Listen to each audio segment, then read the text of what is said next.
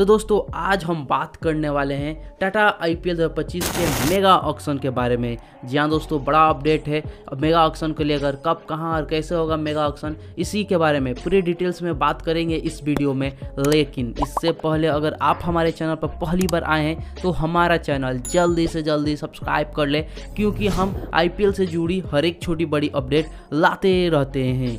तो दोस्तों, आप सभी को मालूम है कि टाटा आई पी के रिटेंशन लिस्ट आ चुका है। सभी टीमों ने अपने अपने रिटेन जो खिलाड़ी किया है, उसका लिस्ट घोषित कर चुके हैं। तो ऐसे में अब सभी को इंतज़ार है मेगा ऑक्शन का। और जो सबसे बड़ा अपडेट है मेगा ऑक्शन को लेकर, बता दें कि नवंबर में ही मेगा ऑक्शन हो सकता है। यह बेहद ही बड़ा अपडेट निकल के आ रहा है बीसीसीआई के तरफ़ से।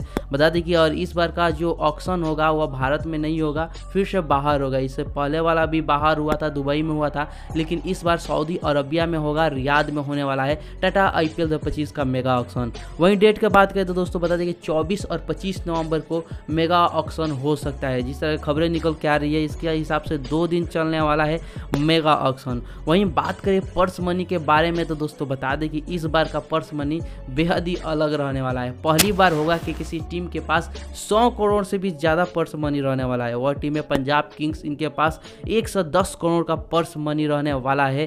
मेगा ऑक्शन में और ऐसे में यह खरीदारी भी उसी प्रकार से करने वाली है। पंजाब किंग्स कई बड़े खिलाड़ी को अपनी टीम में शामिल करते हुए नज़र आएँगे। इसके अलावा देखिए, चेन्नई सुपर किंग के पास पचपन करोड़ का पर्स मनी रहने वाला है। एम के पास पैंतालीस करोड़ का, दिल्ली के पास छिहत्तर करोड़ का और के के पास इक्यावन करोड़ का और आरसीबी के पास तिरासी करोड़ का और एलएससी के पास उनहत्तर करोड़ का, एसआरएच के पास पैंतालीस करोड़ का आर के पास सबसे कम जो कि इकतालीस करोड़ का रहने वाला और जी के पास उनहत्तर करोड़ का पर्स मनी रहने वाला है।